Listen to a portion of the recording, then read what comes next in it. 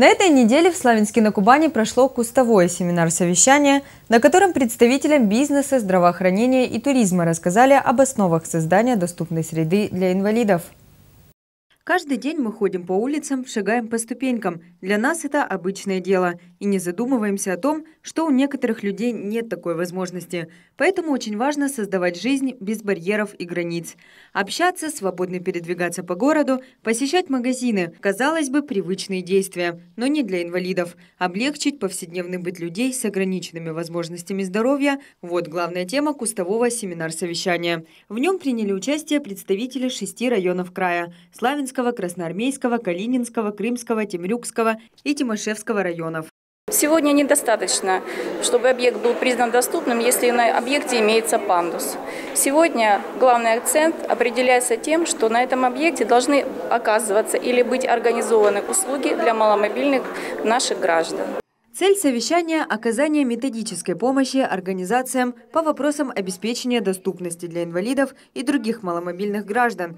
К маломобильным гражданам прежде всего относятся люди с ограниченными возможностями здоровья, пожилые граждане и другие люди, имеющие проблемы с передвижением. Конечно же, они, как и все, посещают магазины, аптеки, социальные объекты, ездят на автомобилях, одним словом, стараются жить полной жизнью.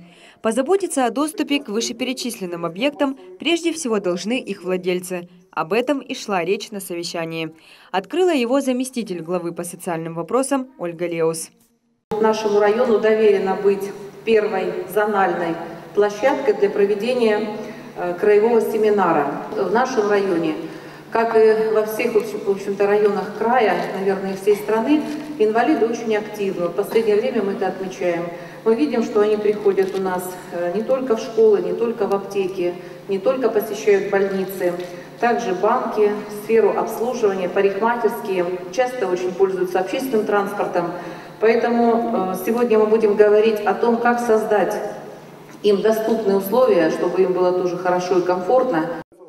Работа по формированию безбарьерной среды проводится в Краснодарском крае с 2006 года. Особенно ощутимый прорыв был сделан во время подготовки к проведению зимних Олимпийских игр в 2014 году в городе Сочи. Уже тогда работы по обеспечению доступности были проведены на около 2000 объектах Сочи. В их числе не только спортивные объекты, на которых проводились соревнования, но и гостиницы, больницы, аптеки, магазины и торговые центры.